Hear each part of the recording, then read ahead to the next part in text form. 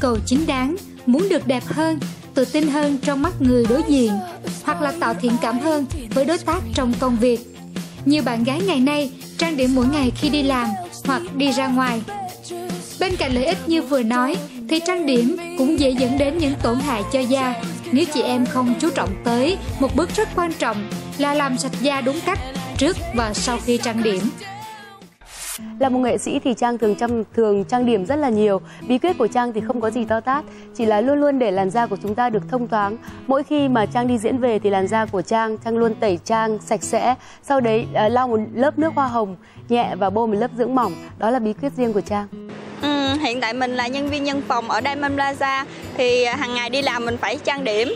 À, mỗi lần trang điểm như vậy thì à, khi mà về nhà thường mình phải tẩy trang rất là kỹ. Thì à, trước khi mình tẩy trang mình phải sử dụng cái à, sữa để tẩy trang sau đó mình dùng sữa rửa mặt và mình dùng một cái lớp nước hoa hồng để à, rửa lại cho nó sạch và sau đó dùng một cái à, nước dưỡng rất là nhẹ để cho da nó mát da. À, công việc của mình là buôn bán. Thì mỗi buổi sáng mình có trang điểm nhẹ trước khi đi làm sau đó ờ, mình về nhà thì mình rửa sữa rửa mặt rồi uh, tẩy trang ờ, xong sau đó mình rửa bằng nước sạch mỗi ngày thì mình làm sạch da khoảng 3 4 lần. Mình thì uh, làm công việc văn phòng thì mỗi ngày thì mình đều trang điểm để đến văn phòng để làm việc để tạo sự tự tin hơn và quyến rũ đối với khách hàng của mình. À, mỗi ngày thì mình đi về thì mình à, thường là mình rửa mặt bằng nước lạnh thôi nước lọc các bạn đó rồi à, mình lâu lâu mình có rửa bằng sữa tươi nữa thì để cho da mặt của mình nó trắng và mịn màng hơn à, ca sĩ thì thường xuyên uh, trang điểm rất là nhiều cho nên mỗi khi Hà Vi về đến nhà thì Hà Vi tẩy trang ngay và tẩy trang bằng nước ấm và bằng sữa rửa mặt thật là sạch sâu để cho uh, cái lỗ chân lông của mình không có bị bít bụi phấn và không có gây ra lão quá da. Qua những chia sẻ vừa rồi thì chúng ta cũng thấy được là bạn gái rất là quan tâm đến việc làm sạch da của mình. Nhưng mà cách họ làm có đúng hay không và việc làm sạch da mang đến những lợi ích gì? Chúng ta sẽ có được câu trả lời ngay bây giờ. Xin giới thiệu với quý vị, ngồi cạnh ngay Mỹ Nhật ngay lúc này đó chính là bác sĩ Phương Mai đến từ bệnh viện Gia Liễu thành phố Hồ Chí Minh. Chúng ta sẽ cùng nghe bác sĩ chia sẻ về việc làm sạch da đúng cách nhé. Xin chào bác sĩ. Xin chào Mỹ Nhật và các quý vị khán giả xem đài. À, thưa bác sĩ, à, trước khi mà đến với cái chủ đề chính thì Minh Nhật muốn hỏi à, riêng bác sĩ là bác sĩ thường làm sạch da của mình như thế nào ạ? À, đối với mình thì cái việc trang điểm nó không có nhiều cho nên làm sạch da rất là đơn giản. Mình chỉ rửa mặt vào buổi sáng hoặc là buổi tối. Những cái lúc mà phải trang điểm nhiều như là đi dự tiệc thì mình có thể là phải tẩy trang rất là kỹ. Nhưng mà điều quan trọng nhất là không nên được làm biếng và không có được rửa mặt một cách qua loa. Thưa chị cái việc mà làm sạch da thì nó có cái vai trò như thế nào trong việc mà bảo vệ làn da cho chị em phụ nữ chúng ta đặc biệt là những người mà thường xuyên trang điểm ạ? Thật ra thì cái làn da của chúng ta nó bao bọc toàn bộ cơ thể và da của mình thì nó sẽ tiếp xúc với lại môi trường bên ngoài nó chịu tác động rất nhiều của cái môi trường bên ngoài như mỹ nhật thấy đó thì cái làn da của mình phải chịu ảnh hưởng nè, của mưa, nắng nè, rồi nhiệt độ độ ẩm, bụi bẩn và một số cái môi trường ô nhiễm nữa. Và khi làn da của chúng ta phải tiếp xúc như vậy, đặc biệt là cái vùng da mặt là cái vùng da tiếp xúc nhiều nhất và da mặt nó mỏng, nó nhạy cảm. Cho nên đôi lúc chúng ta phải làm sạch cái vùng da mặt, rửa mặt sạch một cách cẩn thận. Do đó cái việc rửa mặt là vô cùng cần thiết.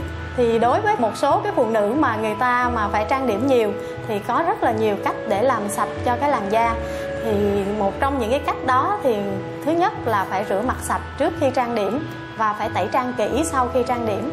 Bởi vì cái rửa mặt sạch trước khi trang điểm á, sẽ giúp cho cái làn da của chúng ta nó sạch đi những cái bụi bẩn chất nhờn và sau đó nó thẩm thấu được cái lớp kem dinh dưỡng tốt. Và chính cái lớp kem này sẽ làm cho cái làn da của chúng ta được bảo vệ đối với một số cái tác hại của mỹ phẩm. Ngoài ra thì cái việc tẩy trang kỹ thì nó sẽ làm mất đi những cái bụi bẩn chất nhờn ở trên da hoặc là những cái kem phấn nó còn ứ động lại. Và nó sẽ làm giảm cái tình trạng mà vi khuẩn nó phát triển nó gây nhiễm trùng cho da. À, có một số bạn gái thì thường là không có quan tâm đến việc làm sạch da hoặc là làm sạch da không có đúng cách. Thì điều đó nó có ảnh hưởng như thế nào đến làn da của chúng ta? Có thể hình dung bằng cái việc là mình nhìn qua cái làn da chúng ta ha, thì nói sơ qua cái làn da, nó sẽ có là ba lớp lớp biểu bì, lớp trung bì với lại lớp hạ bì.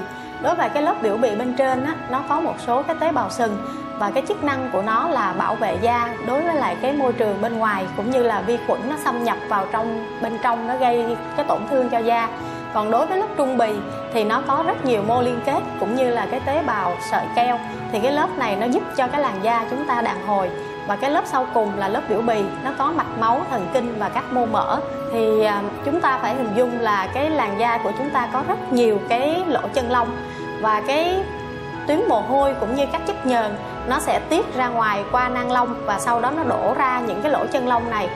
Nếu mà vì một cái lý do nào đó nó bích tắc cái nang lông, chẳng hạn như là bụi bẩn nè, hoặc là những cái người mà trang điểm nhiều ha, thì nó sẽ làm cho hình thành nên một cái nút sừng, nó bít cái nang lông lại, và sau đó vi khuẩn nó phát triển lên đó, và nó làm cho cái tình trạng nhiễm khuẩn da, viêm nhiễm da.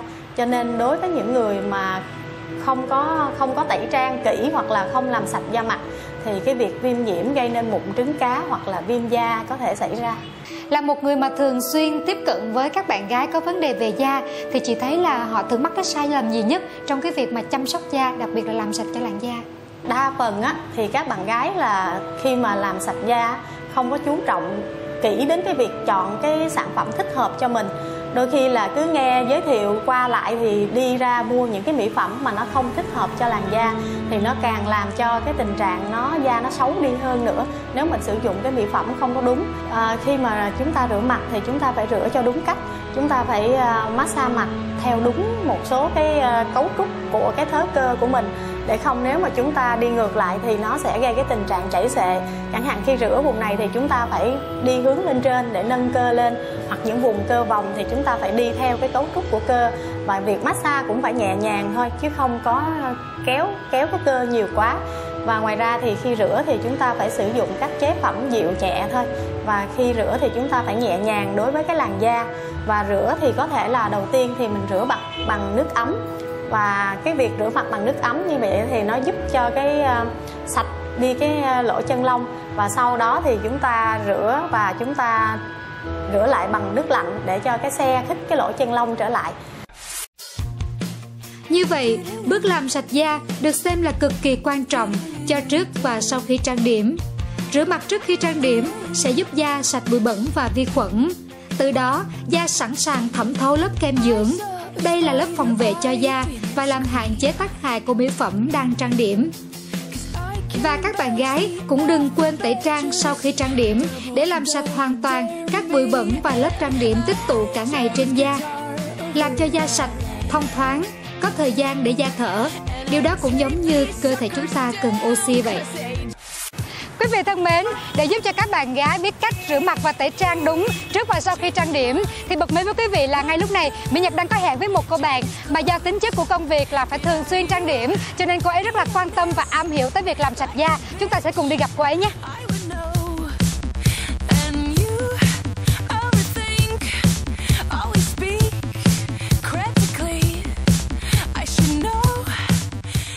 Dạ mời chị Mỹ Nhật ngồi. Rồi cảm ơn em. Giới thiệu với quý vị, đây là người mẫu Yến Trinh. Ngày hôm nay chúng ta sẽ cùng trò chuyện với Yến Trinh để nghe cô ấy chia sẻ về cách làm sạch da mỗi ngày. Xin chào Yến Trinh. Chào chị. À, bạn là một người mẫu thì chắc chắn là cái việc trang điểm bạn phải làm thường xuyên mỗi ngày rồi. Vậy thì à, bạn thường làm sạch da như thế nào để bảo vệ cho làn da của mình luôn à, tươi trẻ? Ừ, thật ra thì à, mỗi buổi sáng khi thức dậy Yến Trinh thường à, à, rửa sạch mặt bằng sữa rửa mặt trước khi trang điểm để phấn có thể thẩm thấu với da của mình hơn. Và sau khi ờ, đi làm về thì ờ, yến trinh thường tẩy trang với ờ, sản phẩm tẩy trang để cho da mặt của mình thật sạch. À, nhưng mà Mỹ Nhật có biết không? Thực ra thì uh, Yến Trinh không có nhiều thời gian lắm Cho nên là cũng rất là tiết kiệm thời gian. À, Cho nên là Yến Trinh dùng uh, sản phẩm hai trong một Vừa có thể rửa sạch mặt mà vừa có thể tẩy trang sau khi uh, đi trang điểm nữa. Ồ hay vậy. Vậy thì cụ thể là bạn làm như thế nào? Bạn có thể chia sẻ được không? Thật sự thì các bước cho rửa mặt cũng rất là đơn giản. À, mỗi buổi sáng trước khi đi làm thì yến trinh rửa mặt bằng cách rằng à, bôi sản phẩm lên mặt của mình. Sau đó thì thoa đều nhẹ nhàng từ trên trán ra. Sau đó thì đến vùng mắt thì mình sẽ làm như thế này. À, vùng mũi thì mình sẽ nhẹ nhàng đưa lên và sau đó đến vùng má thì mình thoa nhẹ nhàng từ bên trong ra. À, sau đó thì nữa thì mình làm từ bên càm như thế này dùng hai ngón tay nhẹ nhàng.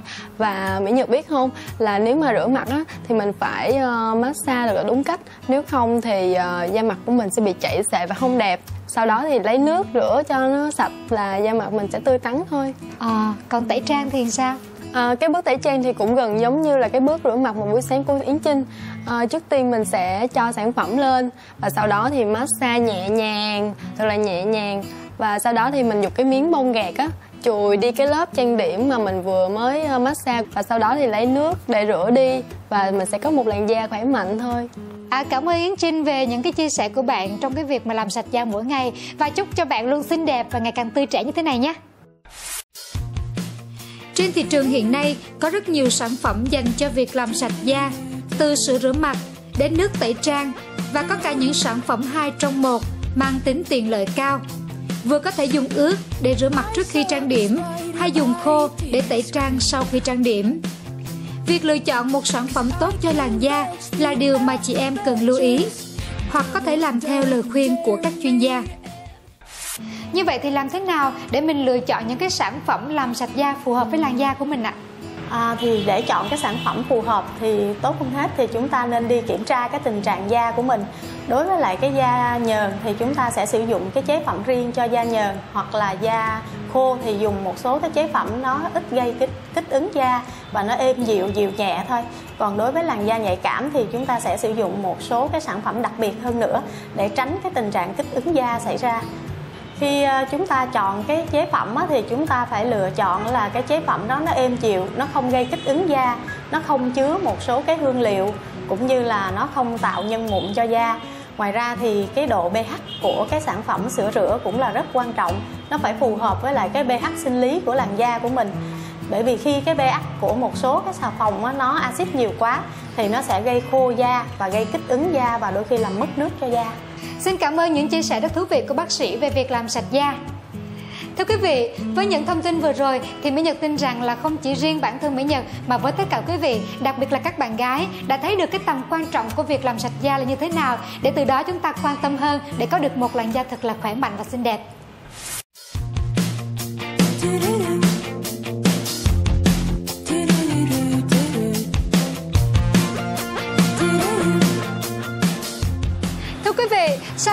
Ngày hôm nay thì Mỹ Nhật, mới giật mình khi nhận ra rằng là từ trước đến giờ mình đã làm sạch da không có đúng cách. Phải thay đổi thôi, bởi vì nếu không thì các em mụn sẽ đua nhau xuất hiện trên gương mặt của mình. Như vậy thì sẽ khó chịu và xấu lắm. Và tin chắc là nhiều bạn gái cũng đang có cùng suy nghĩ như mỹ nhật vậy. Cảm ơn quý vị và các bạn đang cùng đồng hành với chuyên đề để có làn da đẹp dù trang điểm mỗi ngày. Và bây giờ thì à, một trò chuyện cuộc sống cũng kết thúc. Xin mời quý vị cùng đến với một tận hưởng cuộc sống.